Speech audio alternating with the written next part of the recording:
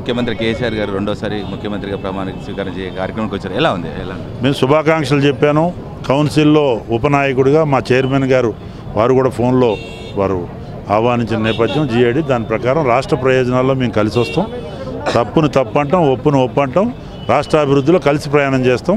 ప్రతిపక్ష పాత్ర సమర్థవంతంగా నిర్వహిస్తాం కాంగ్రెస్ చాలా భారీ భారీ మెజార్టీతో వస్తుంది అనుకున్నారు కానీ చూస్తే టీఆర్ఎస్ భారీ మెజార్టీ వచ్చింది. ఎలా ఉంది ఎనాలిసిస్ ఒక సెంటిమెంట్ మీద ఏర్పడ్డ రాష్ట్రం అనేక అంశాలు ఉన్నాయి. తర్వాత మాట్లాడతాను. ఇవాళ శుభాకాంక్షలు చెప్పడానికి వచ్చాం హలో మిమ్మల్నే యోయో టీవీ యాప్ డౌన్లోడ్ చేసుకున్నారా? ఇంకా లేదా మీ యాప్ స్టోర్కి వెళ్ళి వెంటనే డౌన్లోడ్ చేసుకోండి.